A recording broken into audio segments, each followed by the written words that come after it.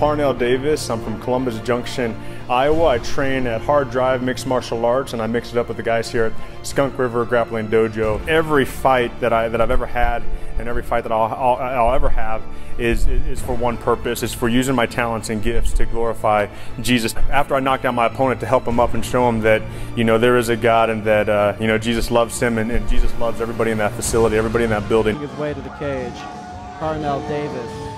Parnell, he's obviously the hometown favorite. You know, everybody lost their mind when the video started. You know, the the the, the crowd is definitely in it for Parnell, but at the same token, Delph had quite a lot of uh, fans come down from the Quad City area, and they, they made some noise when he came out as well. Yeah, the last time um, we've seen Parnell, uh, I believe, was last year here at Catfish Bend. Yep. And it didn't go his way and I'm sure that left a sour taste in his mouth, you know, with the, having the hometown crowd behind him. And I'm sure he wants to right those wrongs or get that taste out of his mouth tonight. Again, redemption in his hometown. But he's got his hands full as well, like we said, against a, a strong, good Ryan Delph. But I'm excited to see what he can do with that year layoff as well tonight. And I'd just like to point out, last time that he made an appearance here at Catfish Bend, he had missed weight that time also.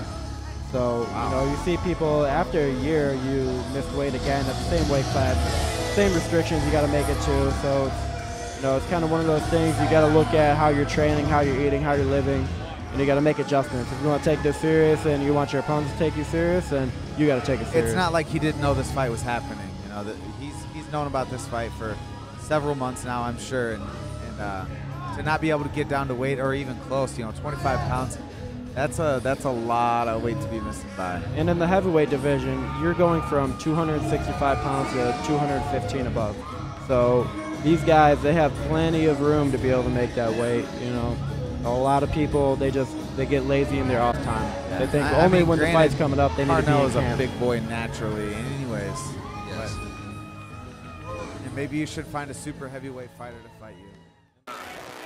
Is that what it is? Is that Uh, what I look like, uh, significant weight difference. Very technical, as you see a huge overhand right cut, low ankle pick. And that's a lot of weight on top of you. Exactly. He does a great job standing back up, not allowing that weight to rest yes. on him. Yeah. Still a lot of energy getting up with that lot of yeah, weight on top of you that's there. no joke, but power powerlifter, he's used to having that weight on his back, just squatting it up. You know, that how many people in the heavyweight division would have been able to get up right there without that? oh, gave up his back there, slipped off. He got a trip there. Now he's starting to hear the crowd get behind him. And that's going to help him, you know, hearing that. You know, that gives you that extra motivation to, to you know, to keep going. For, Do it for the crowd, you know. When you hear people believing in you, it makes you believe a lot more in yourself, too. Doesn't matter what you're doing, fighting, family. At the end of the round, it's going to win you the round. And then we got about 30 seconds left, and Parnell's in a good position here. And add on to it, too. Don't just stop just because you landed a punch. Keep going. Once oh, you land one, you're going to land more. Oh, good uppercut by Parnell. Parnell finally using his range. This would be a good time for Bruce to step in.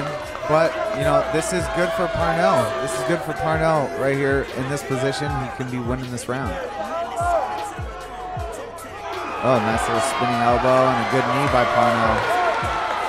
Nice spin by the big man there. Don't see that much with that. You don't. Ladies and gentlemen, we go to your judges' scorecard for our decision. All three judges scored this contest 29 28, declaring your winner by unanimous decision, Parnell Davis!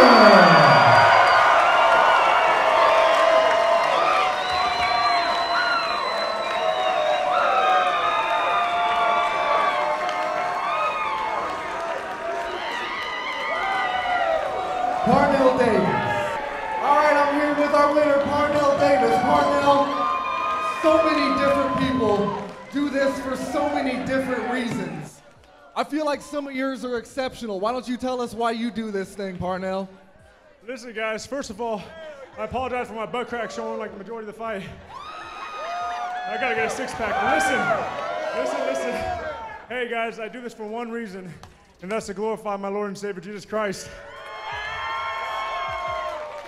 How many of you in here, listen, listen, listen, how many of you in here have an authentic, real relationship with Jesus? Stand up. Listen, listen. Hey, for everyone sitting, listen, if you don't have a relationship with Jesus, stay standing, stay standing. If you don't have a relationship with Jesus, I want you to find one of the people that you see standing up and ask them how you can know Jesus Christ as your Lord and Savior. He loves you. God bless you. Jason, I appreciate you. I love you, brother. Thank you, Parnell. Ladies and gentlemen, your winner one more time, Parnell Davis.